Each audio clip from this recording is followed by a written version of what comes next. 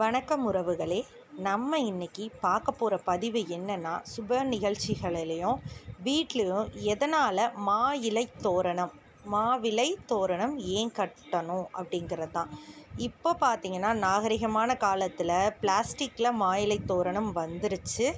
நிறைய அப்பார்ட்மெண்ட் இருக்கிற வீட்டிலலாம் பார்த்தீங்கன்னா முடிஞ்ச நிறைய பேர் என்ன பண்ணுறாங்கன்னா பிளாஸ்டிக்கில் வாங்கி கட்டுறாங்க. ஏன்னா சிட்டி சைடில் மாவிலை கிடைக்கிறது ரொம்ப கஷ்டமாக இருக்குது ஆனால் கிராமத்து பக்கம் பார்த்திங்கன்னா மாவிலை வந்து ஈஸியாக கிடைக்கக்கூடிய ஒரு இலை தான் அதாவது தலைவாசலில் நம்ம எப்பையும் மங்களகரமாகவும் அழகாகவும் சுத்தமாகவும் வச்சுக்கிட்டோம் தான் வீட்டுக்கு ரொம்ப நல்லது.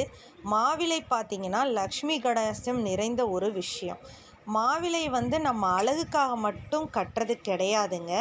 அறிவியல் ரீதியாக பார்த்தீங்க அப்படின்னா மாவிலை வாசலில் சுபநிகழ்ச்சியில் கட்டுவது உடலுக்கு வந்து நிறைய நன்மைகளை கொடுக்கும். அதில் பார்த்தீங்கன்னா நிறைய பாசிட்டிவ் எனர்ஜியுமே இருக்குது அப்படின்றது தான் உண்மையான ஒரு விஷயம். இந்த மாவிலையை பிளாஸ்டிக்கில் கட்டாமல் முடிஞ்ச அளவுக்கு மாவிலையாக அதனால் மா இலை கட்டுறதை மட்டும் எப்பையும் மறந்துடாதீங்க மாவிலையில் வந்து பார்த்திங்கன்னா நிறைய நோய் எதிர்ப்பு சக்தி இருக்கிறதா முன்னோர்கள் சொல்கிறாங்க அது எந்த அளவுக்கு உண்மை அப்படிங்கிறது வந்து சயின்டிஃபிக் ரீதியாக பார்த்தீங்கன்னா மா இலைக்கு நிஜமாலுமே நிறைய நோய் எதிர்ப்பு சக்திகள் இருக்குங்க. நோ நோயால் பாதிக்கப்பட்டவர்கள் நிறைய பேர் நம்ம வீட்டுக்குள்ளே வரும்போது அந்த மா இலை வந்து அந்த நெகட்டிவ் எனர்ஜியை இழுத்துக்கும் அப்படிங்கிறது நம்ம முன்னோர்களின் நம்பிக்கை. அது ஒரு வகையில் உண்மையும் கூட.